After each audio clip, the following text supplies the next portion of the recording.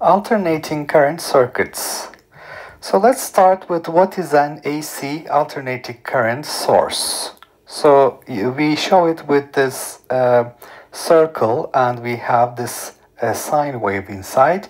That's basically representing an AC source. So an AC circuit consists of an AC source that is connected to uh, a set of circuit elements. So we have uh, the voltage uh, the provided by this AC source to be sinusoidal. It is delta V max times sine omega t plus a possible uh, phase angle phi. So delta V max is the amplitude of the voltage wave. The root mean square value, delta V RMS, as we will see later, is delta V max divided by square root 2. The angular frequency is 2 pi times frequency, or 2 pi divided by the period, frequency measured in hertz, and period in seconds. Now, if, when we compare the power outlets in US and Europe, we see a big difference. In electrical outlets in US, the frequency is 60 hertz and the RMS value of the voltage output is 120 volts. In Europe, the frequency is 50 hertz and RMS value of the um, output voltage of the outlet is 230 volts. So we have a difference between the two. This is roughly twice the, that of the uh, US voltage and the frequency uh, one is 60 hertz, the other one is 50 hertz. so you can see that if this is our voltage cycle in time, sinusoidal curve, uh, for example, at t is equal to 0, we are at minus delta V max. So that would correspond to a non-zero phi value here. So this would have an initial phase. The period we measure between two uh, maxima or two minima, for example, it's the completion of one full uh, cycle. Uh, for, for this example, when delta V at t is equal to 0 is minus delta V max, that means the initial phase should be 3 pi over 2 or 270 degrees. So the corresponding uh, voltage wave is delta V max sine omega t plus 3 pi over 2 for this AC source.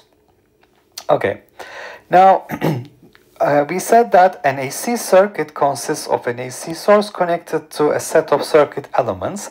We will now look at these circuit elements uh, one by one. Uh, first of all, we will talk about resistors. So what if this circuit element is just a single resistor? So uh, let's say that our initial phase is 0, delta V max sine omega t is our uh, AC voltage that we're applying to this resistor and for uh, of course this is oscillating so these uh, uh, poles are changing between plus and minus but uh, for reference purposes we can label this plus minus and the current flowing uh, through the resistor will be flowing in the upward direction in the left branch. Okay so uh, delta VR, the voltage that appears across the resistor, will be equal to the AC voltage that we apply. And using Ohm's law, because the voltage across a resistor is current uh, flowing through the resistor multiplied by the resistance, IR times R is delta V max sine omega t. The current through the resistor is delta V max over R sine omega t or I max sine omega t where I max is delta V max over R. And the uh, voltage across the resistor is I max times R sine omega t which is delta also equal to delta V max sine omega t. Now what I want you to pay attention to here is the phase relationship between the AC source and the resistor uh, current and voltage. You can see that both the current and voltage uh, are in phase with the uh, AC source voltage. So we don't have any uh, phase uh, relationship. So they are in phase. They oscillate in phase. If we were to plot the current through the resistor and voltage across the resistor as a function of time, we would see that the maxima and minima would coincide because they are in phase. The voltage is Ri max sine omega t, delta V max sine omega t. Current is I max sine omega t, which is delta V max over R sine omega t. So this has a smaller maximum value. I max delta V max over R is less than delta V max, so that would be this lower curve here. So the current would oscillate between plus and minus I max and the voltage plus and minus delta V max in phase. So this is what we would observe. Now, if we have a phase relationship between the AC source and the circuit element, uh, we can describe this phase relationship using what we define as a phasor. A phasor is a vector whose length is equal to the maximum value of the variable and rotates counterclockwise at an angular speed equal to the angular frequency of the variable. So we said that the current is I max sine omega t. So if we draw the current phasor, current phasor is basically a vector that has a magnitude equal to I max, making an angle of omega t with the x-axis in the counterclockwise direction so that the instantaneous value of the current is given by the projection on the y-axis. So I max sine omega t would be equal to IR. Similarly, if we look at the voltage phasor, the voltage phasor uh, is going to have a magnitude delta V max, making an angle omega t with the x-axis so that the projection on the y-axis, delta V max sine omega t would be the instantaneous value of the voltage delta VR. So the projection of these uh, phasors, of these vectors onto the y-axis give their uh, instantaneous values.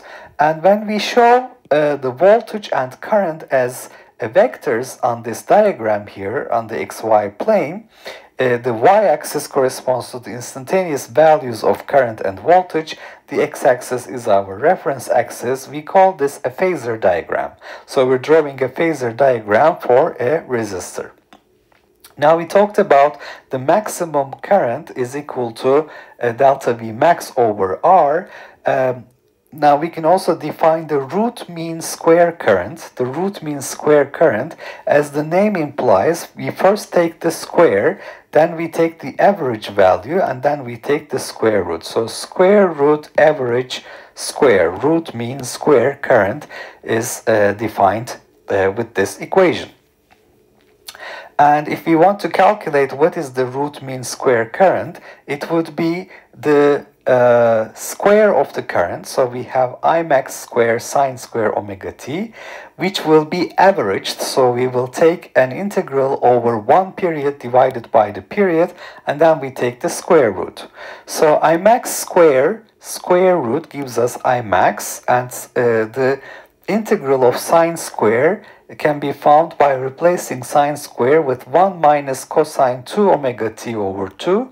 So remember cosine 2 omega t is uh, 1 minus 2 sine square. So minus sine will become 2 sine square. 2's will cancel. So this will be sine square.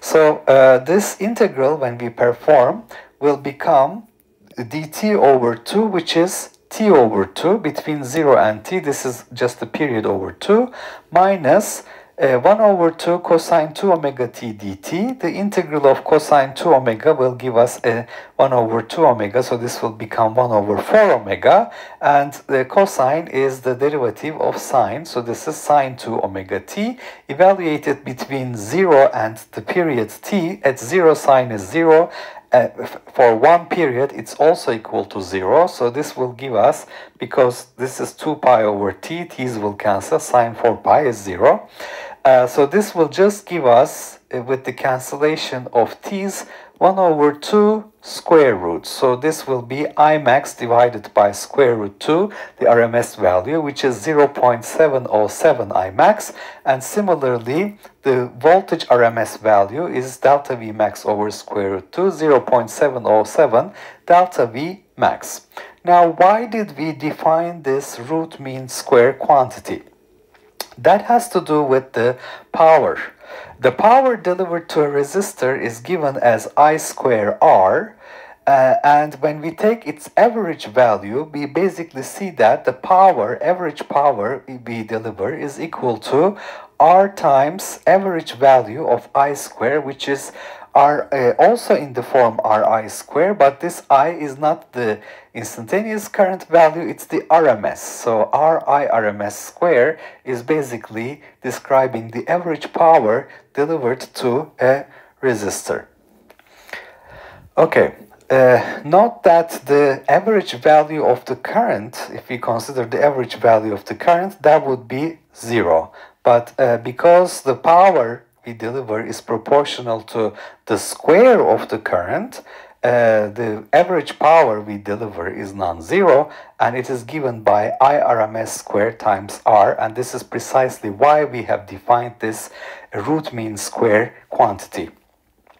So we see that an alternating current with max I max amplitude causes an energy transfer to heat up a resistor and the effective heating is equivalent to that of a DC source that delivers IRMS. So if I had a DC source, a current source that produces this IRMS current, IRMS squared times R would be the power consumed by the resistor. So uh, basically this is equivalent to saying that I have a DC source with this current uh, instead of saying that I have an AC source with an RMS current given uh, by this quantity.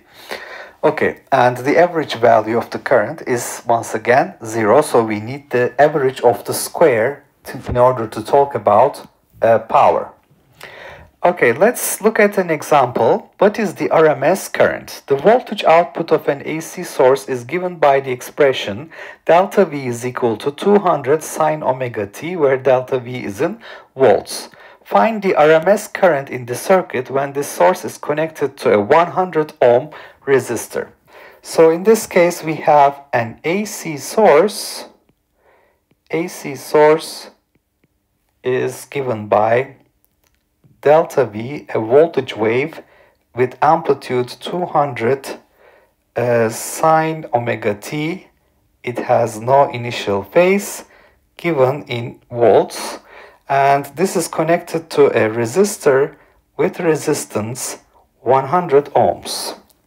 So we can calculate the current flowing through the resistor IR by dividing delta V with R using Ohm's law. So this will become 200 divided by 100 uh, sine omega t and it's in phase with the voltage so this will be 2 sine omega t in amperes and what is the maximum current that flows through the resistor. From the sine wave, I can see that the maximum current is 2 amps with the amplitude of this wave, and therefore the RMS uh, current is basically I max uh, divided by square root 2 as we have seen. So this will be equal to 2 divided by uh, square root 2. So the answer we will find is IRMS is equal to 1.41 amps, which is 0.707 times uh, the maximum current, uh, 2 amps. Okay, all right, so uh, we have introduced uh, alternating current circuits. An alternating current circuit consists of an AC source that is connected to other circuit elements. The AC source provides a sinusoidal wave with a possible initial uh, phase. It has period t, frequency f, angular frequency 2 pi f. Delta V max is its amplitude and RMS value of the voltage it produces is delta V max over square root 2. And this has a value, RMS value 120 volts in US with frequency 60 Hz, 230 volts in Europe with frequency 50 Hz. And we have seen that it is possible to have a non-zero initial phase. If the circuit element that we connect to the AC source is a single resistor, the uh, current through the resistor uh, is linked to the voltage across the resistor using Ohm's law, V is equal to IR, uh, and uh, we see that the phase relationship between the current and the voltage uh, is there is no phase difference. So basically they oscillate in phase. The maximum current is find, found by dividing the maximum voltage difference with R and then we have seen that uh, we talk about an RMS current which is calculated by square root taking the square root of average of the square of the current and that gives us basically uh, I max over square root 2 or 0.707 I max. Uh, we have introduced the current and voltage phasors as vectors on the xy plane where their projections onto the y-axis represent the instantaneous value of the current and the voltage. Uh, we define the angle with respect to the x-axis in the counterclockwise direction and that's equal to omega t in this case and the voltage and current phasors are in the same direction they're oscillating in a phase and what we have drawn here is called a phasor diagram and uh, when we talk about the power delivered to a resistor, it's I square R, that's the instantaneous power. For AC uh, uh, source, AC uh, circuits, uh, this power will be, instantaneous power will be oscillating. So we we can talk about the average power we deliver. That's just the resistance R multiplied by RMS current squared. Uh, so we can now see why we had to define this RMS current. Uh, that was to talk about the average power. And uh, in one example here we have an AC source with uh, voltage 200 sine omega t sine wave voltage, resistance 100 ohms. We used Ohm's law to calculate the current through the resistor. We can read the amplitude of this wave as the maximum value of the current and RMS is found by dividing the maximum with square root 2. So we have the final answer 1.41 amps.